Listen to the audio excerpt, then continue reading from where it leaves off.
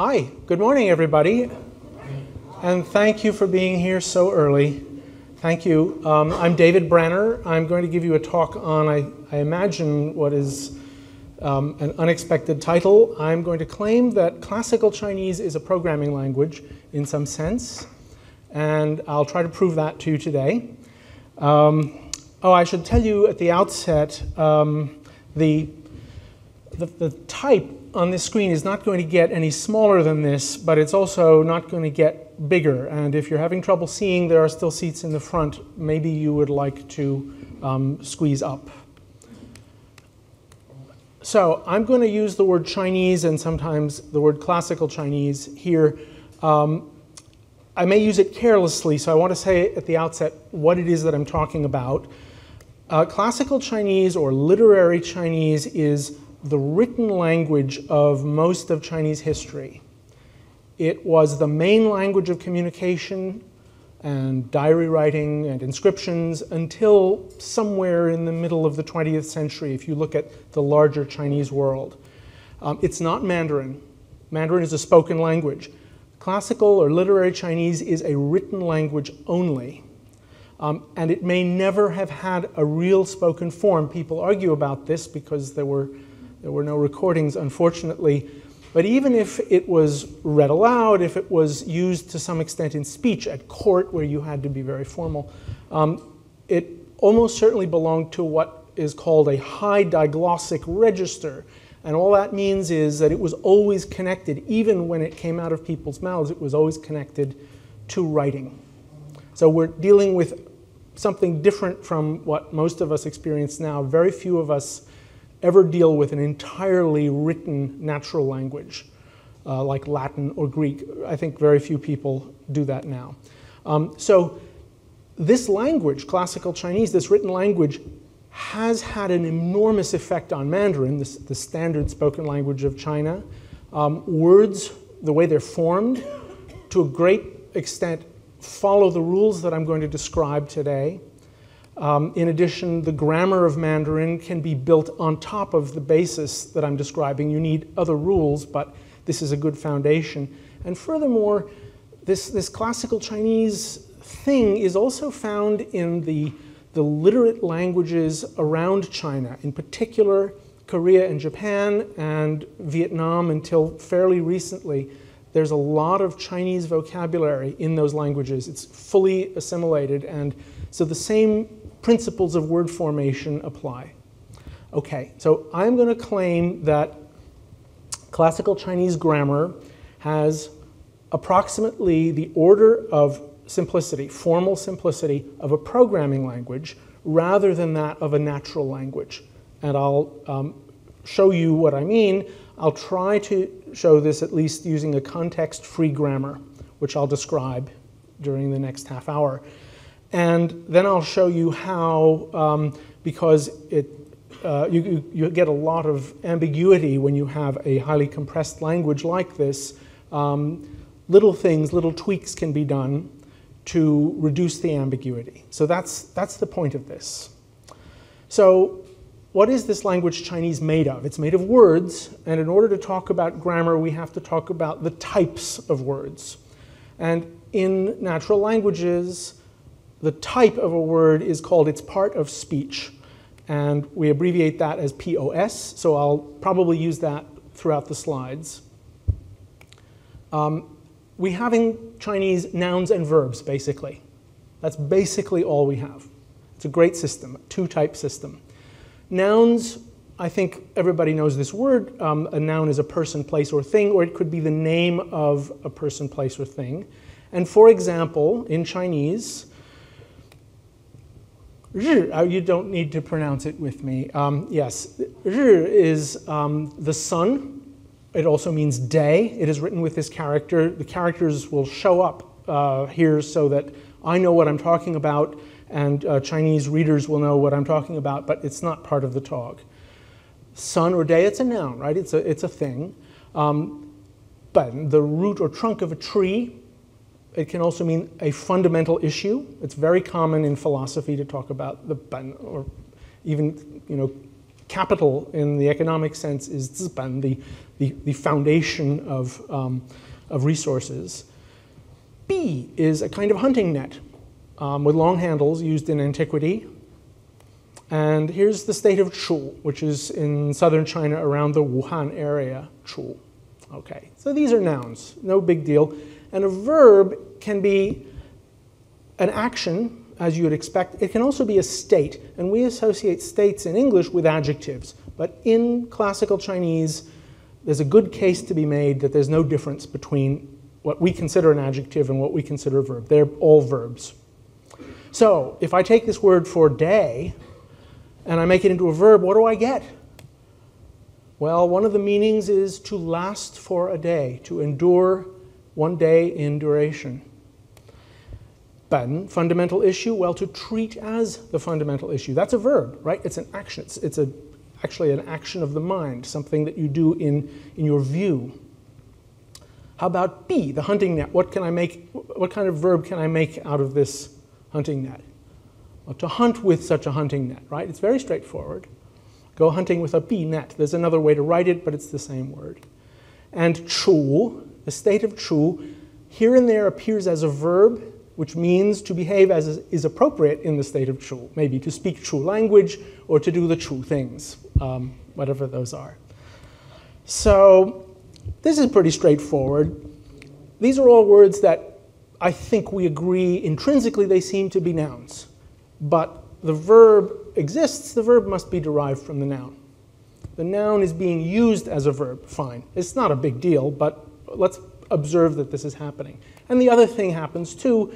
You can get what seems to be a verb, an action or a state, intrinsically, and you find it has noun usage too. And just a few examples Bian, to change or be changed, and as a noun, well, a change or especially a sudden change, a political upheaval, um, an earthquake. Chan, to give birth or be born. You like that the active and passive forms are the same. That's very nice too. Um, as a noun, product, production, industry. Wang, to hope for or gaze at. Wang yue, to look at the moon, you know. Um, aspiration or prestige how you are gazed at by those below. Um, so, fine, you have nouns and you have verbs, but the nouns can be verbs and the verbs can be nouns. How do you know what you're looking at? Um, actually, before you have context, you have practice, but context is it. yeah, it's actually a much easier thing to learn than programming languages, but it's mostly memorization. Um, the thinking is not as hard as programming but um, the, the uh, work is, uh, the labor is greater. So context is the sole thing that determines whether a word is a verb or a noun. And I think that's pretty interesting. We don't have a lot of languages like that.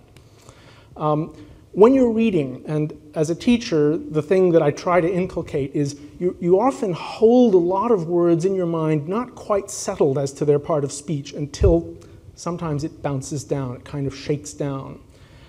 Um, and I'll try to give you some examples. I had a little trouble with um, the formatting. I shouldn't have used LaTeX, but there it goes. I wanted syntax trees with lots of things, and um, it, we'll see how it works uh, toward the end of the talk.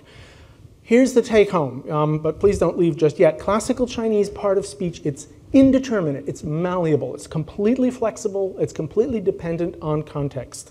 Even if in our souls we feel that it's intrinsic that sun is intrinsically a noun. Of course, it's a noun, but in Chinese, really there is no way to say, in classical Chinese, no way to say, yes, it's only a noun. It can be a verb just as easily. So, is it weird to use a noun as a verb or a verb as a noun? We do this in English quite a lot. Um, you can eye something, you know. You can eye, you can eye a key, right? They eyed my keys. And you can actually make a parlor game out of this.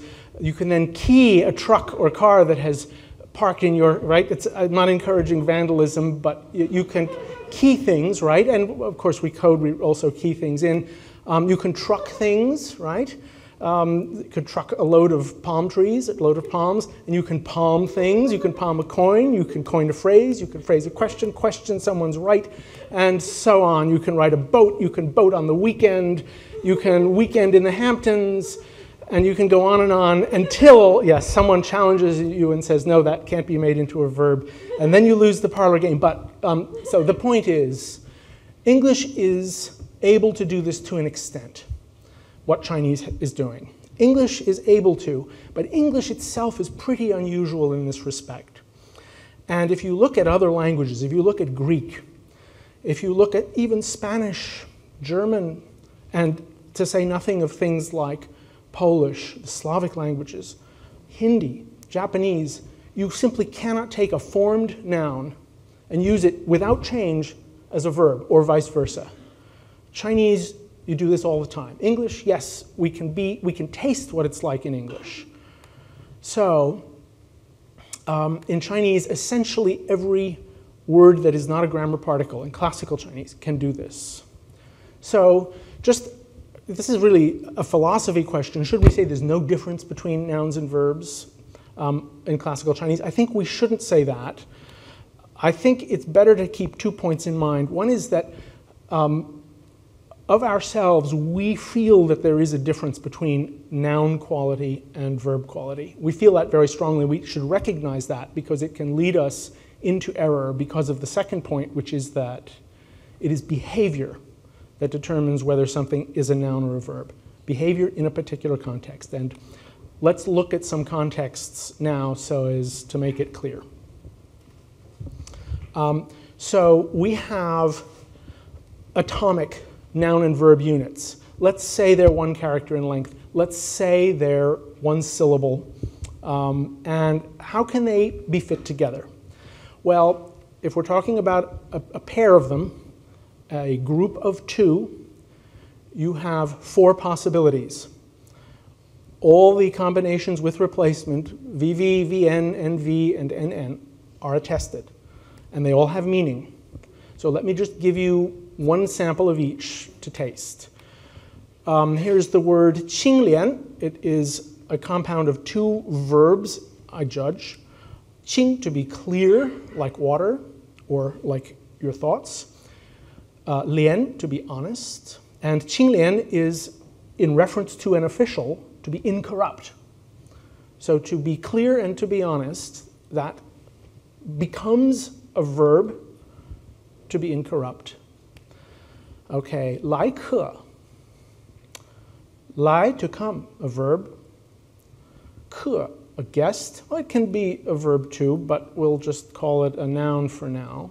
So lai ke as a verb phrase means to have guests. It means for there to have come guests, essentially. Fumu, father, mother, right? We don't say that. We say father and mother. But notice that this language doesn't always need to put an and word in. It can, you can just say father, mother, and you're saying parents, all right? It's straightforward. Um, and xin suan, here's a wonderful word. Xin, heart. Suan, to be sour. To feel aggrieved. All right, now, so here are all the ways that in two slots, verb and noun can combine, and each of the resulting compounds I have also classified as to verb or noun. Normally, if we were dealing with a natural language, the tradition is to write verb phrase. Um, I should have said VP or NP, verb phrase or noun phrase. But I have a reason for not doing that. Um, the reason is that I want to show you that no matter how much compounding you do, you still always end up with a noun or a verb. Um, so here is xin, we saw it a second ago, a noun, heart or mind. Here's kou, mouth. Xin kou, it means what you think and say. That's pretty clear. Ru, a verb to be comparable to, to be like. Yi, what's the number one? I'm never clear whether we should treat the numerals as verbs or nouns. I, I lean to saying they feel to me more intrinsically verbal, but as I said, that's the thing I have to remember to be careful of. In any case, if it is a verb to start, I'm asserting that it is becoming the, the noun one, the object one. Ru'i, to be as one, to be comparable to one, to be like one. You can then put these two pieces together, the noun xinkou, what one thinks and says, and the verb ru'i, and you get xinkou ru'i, which is a verbal phrase again, um, to say what one really thinks. I think the derivation is clear. We're doing this passively. We're not, you know, producing new forms, but um, it's quite interesting to me that I, I, don't really have need for any parts of speech other than verb and noun in order to talk about all of this. So combining items that I take out of the part of speech set, verb and noun, just produces more examples from the same set. So it is possible, you're going to challenge me, I need to give you thousands of examples and then you find a counterexample among them, but I, I assert that because of this pattern, this kind of behavior, definitions of verb and noun in this language can be recursive in character. So what I want to do to describe a language is to construct, I said I would use a context-free grammar. There's a reason for choosing this. A context-free grammar is a set of rules that describe how the pieces of the language work together to produce new pieces. Um, it is, what, 60 years old? It came out of the mind of um, Noam Chomsky. He um, he used it as a foil. He argued, when he presented this, he, he brought it up and he said, This is no good for describing languages. And he explained why. What he wanted to do is he wanted to sell something. He wanted to sell transformational grammar, a much more elaborate and complicated thing. Um, so he introduced this thing that he called phrase structure grammar, and it turned out to be enormously useful to people like us in uh, working with symbolic systems, which computer languages are uh, representative of. Um, and he published important writings on this. The Chomsky grammar and the Chomsky hierarchy are terms that you, you encounter if you study theoretical computer science. It comes from this 1956 article. Um, here he is. This is about how he looked at the time of his paper. A young, recent graduate. Okay. So here is what a traditional linguistically oriented, context-free grammar looks like. This comes right out of Chomsky's paper. It's a tree. The root, or as uh, Donald Knuth has said, since trees don't grow from the ceiling, the stem of the tree is a sentence, the whole thing. And we can analyze it into parts, a noun phrase and a verb phrase. In this case, the noun phrase has two actual words. I've bold-faced them actual words that are leaves in a tree like this are called terminals. And the verb phrase has verb and it has a noun phrase after it. It's all quite clear. The point of terminals is they can't have anything below them. They are intrinsically leaf nodes. No further processes act on them in the context-free grammar model to produce new kinds of things. So if you write out the rules that are embedded into this tree, you get rules like this. You say sentence can be rewritten as NP VP, VP can be written as verb NP, and so on. When you get to things like the man, the book, and took, they can't be rewritten anymore. Those are terminals, and um, once all of your all of your leaves are filled with terminals, you have a finished sentence. So the key ideas in what Chomsky was presenting is a, we have terminals and non-terminals, and um, non-terminals can be reanalyzed, he called it rewriting, until terminals are reached. That's what it's about. That's how you make the grammar. Of course, it has to fit the evidence. But you and I have recursion available, as I showed you in classical Chinese. So we don't need to distinguish terminals and non-terminals at all.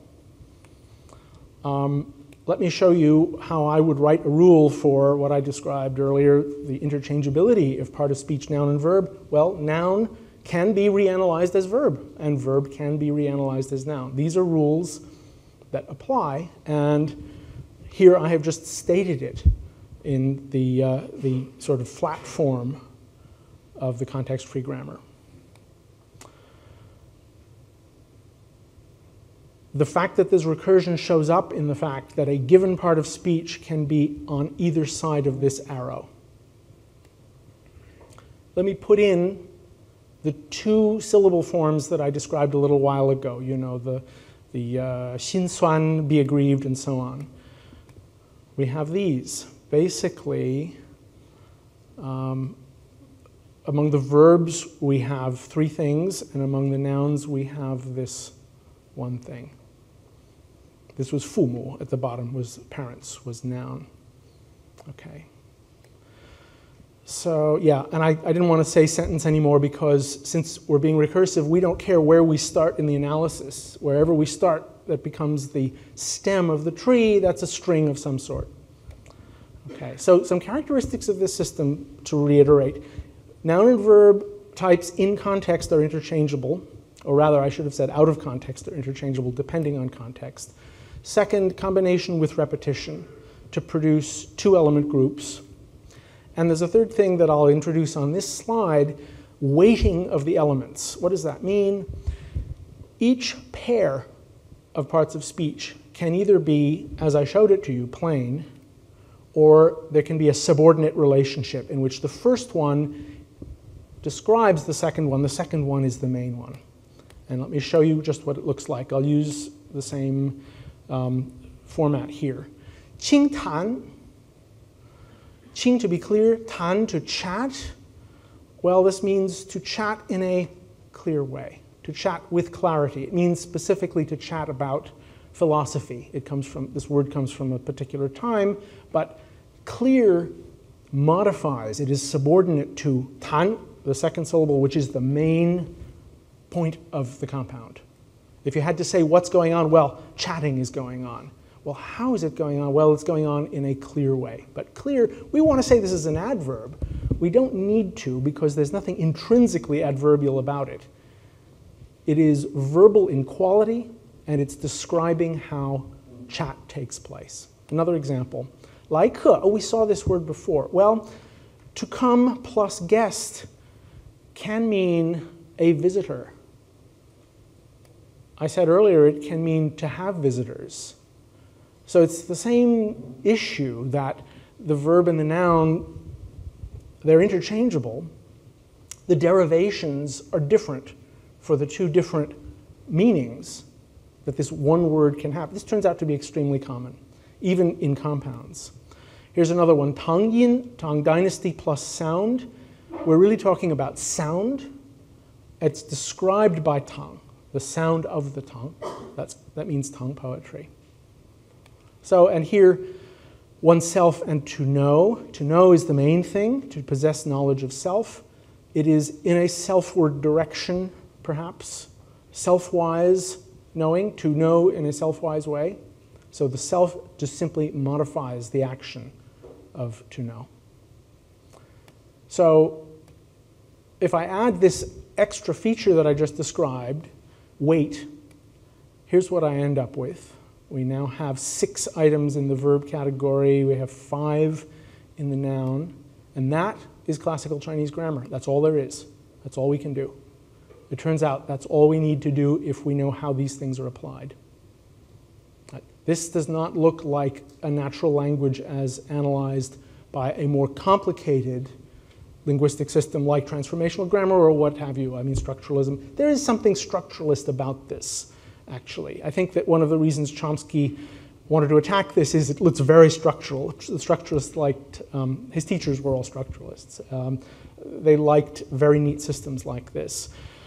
Because we have recursion, um, we can build very complex strings with these few forms. But this is the whole of the grammar, um, he said with a caveat that he would say later. We usually don't see recursion going down very, very deeply because this has to be processed by a human mind. So, you know, two or three levels down and they don't go any further. Um, usually there are um, sequences of things, there are series of verbal expressions. Um, and the whole thing is loose and very poetic. Um, but the point is, all the possibilities given these two units, V and N, given weighting and given two spots, we have all eight possibilities produced, filled out. And each one is distinct and each one is meaningful. So I had, like He, I had this expression that had two different ways to analyze it. Um, to have guests or a guest from elsewhere, um, it's very common to see this in Chinese. And there's a special class of words, a small class, particles, that help you disambiguate when you need to. They're called empty words in Chinese. They don't fit into the categories verb and noun. And um, I'll show you how a couple of these work. There are just a few. Well, you know, there are several dozen, but it's few compared to everything else. We might say 人心, person plus heart. These are nouns. And then we don't know if we're saying people's hearts and minds or um, people and hearts. Oh, I see I've got the parts of speech reversed here. People and hearts should be N, N. People's hearts and minds is basically minds, hearts and minds, described by people, associated with people. If we need to specify which of these two things we mean, we have a particle we can stick in the middle. Both of these forms appear all over the place in the texts. 人之心 that tells us that it is the xin, the hearts associated with people. That disambiguates when we need to. We can stick these little particles in. Here's another one, 时 ji. It could be two noun phrases, coordinate, seasons and sacrifice. Or it could be seasonal sacrifice, in which sacrifice is the main point and season merely describes it. It could be to sacrifice and to do it described by season at the right season or from season to season. Or it could be that time is actually the verb and it means to make timely the sacrifices.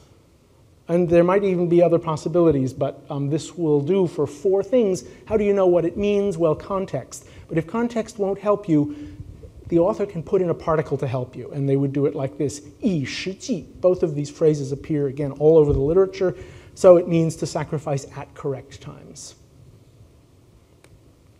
Um, digression. What is this context free grammar anyway? What a crazy name. Why did he call it this? Well, he didn't. He called it a phrase structure, which was actually clearer.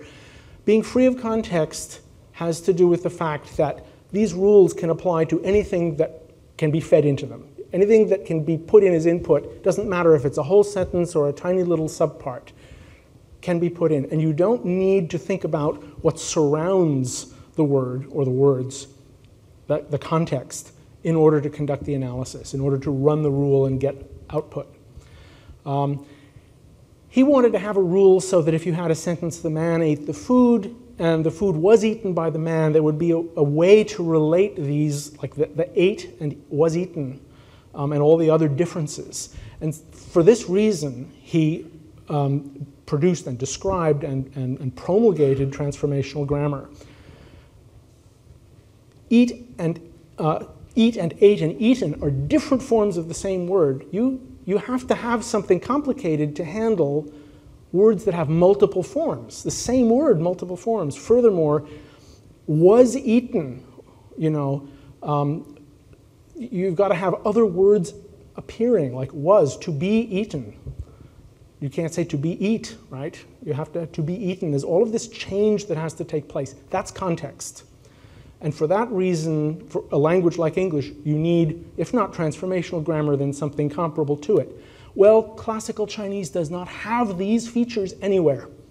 It never changes the form of its words, ever, and it never requires one or two extra things to make sense out of it. So, classical Chinese is not of the order of complexity of your typical natural language by which you know, in the Chomsky school, English is the only thing we always, we structuralists always said they only knew English. Um, so classical Chinese is not of the order of complexity of a language like English that requires a transformational grammar. It can be succinctly and fully described, the core can be fully described by a context-free grammar.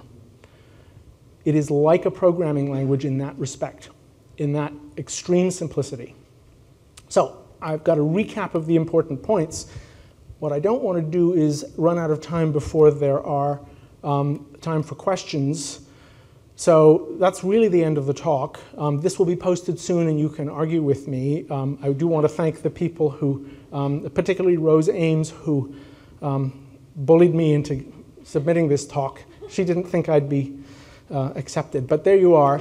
Um, however, um, I do want to point out if you're a specialist in Chinese or in linguistics, if you want to argue with me, I'd love it. I have um, six points or seven points for contention at the end of this, uh, these slides, and there are more that we could um, handle. Um, so uh, do look at the slides or come and fight with me. I'm here until Sunday night.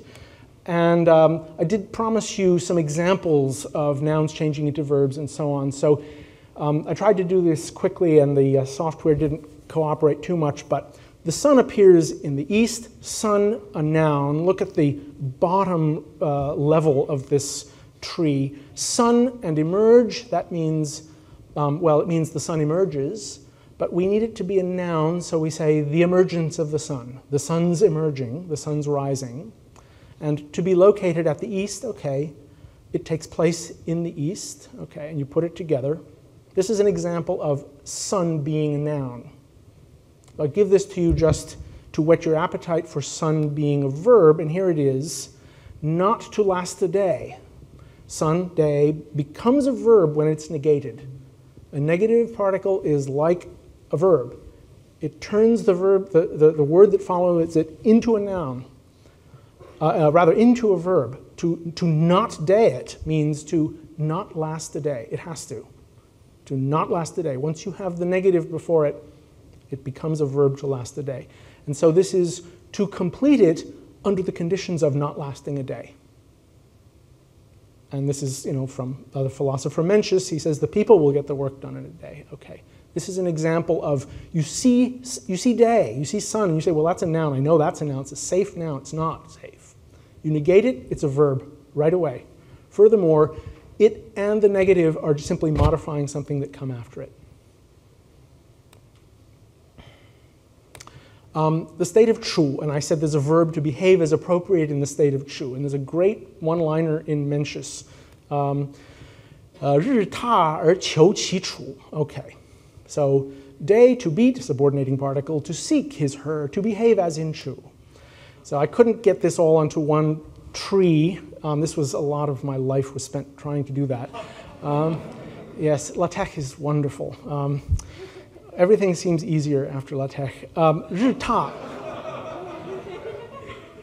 so day plus to beat, this is to beat daily. Anybody here have children?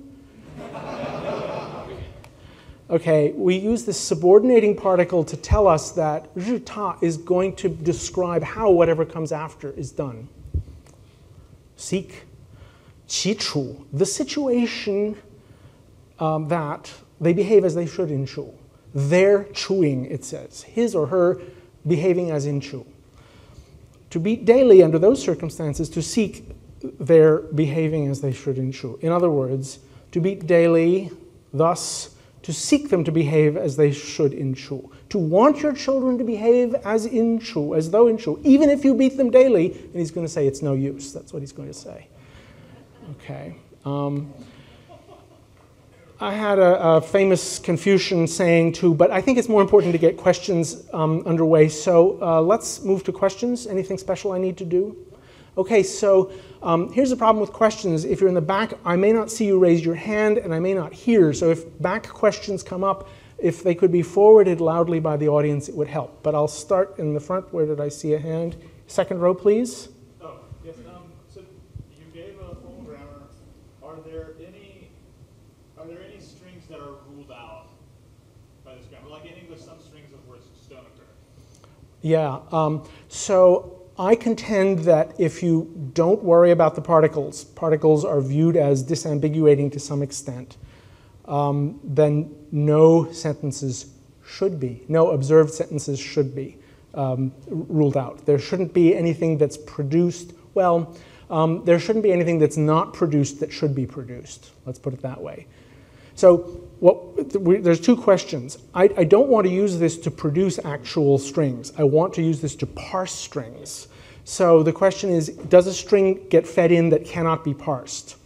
And the true answer is it depends on how you have defined your words.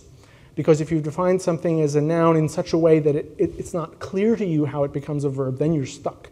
If you just say sun, you don't understand how it is um, to last for a day.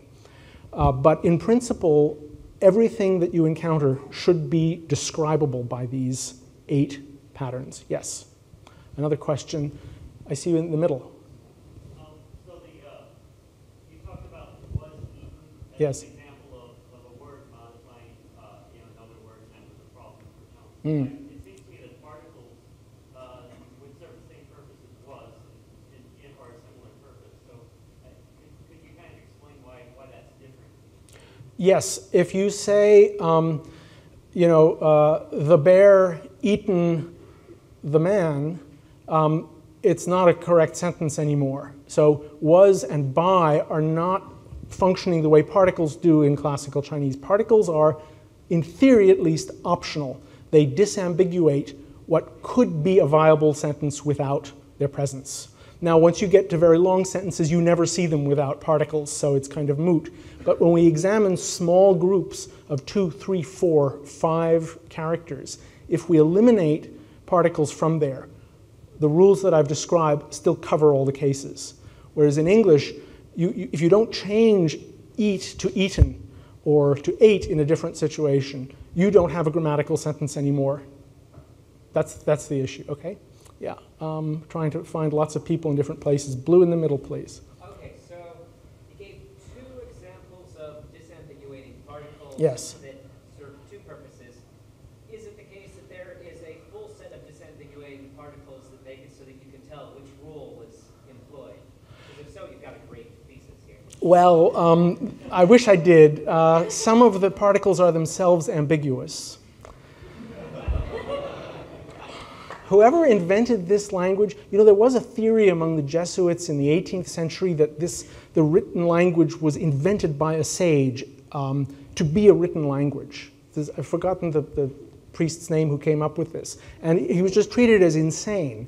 But um, when you think about how condensed and telegraphic this is, it really looks like somebody thought a lot about how to write. It's hard to believe that what we have here corresponded to something that people, you know, discursively and redundantly used orally.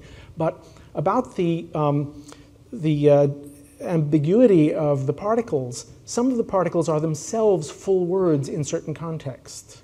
So, like, uh, let me get back here to. Uh,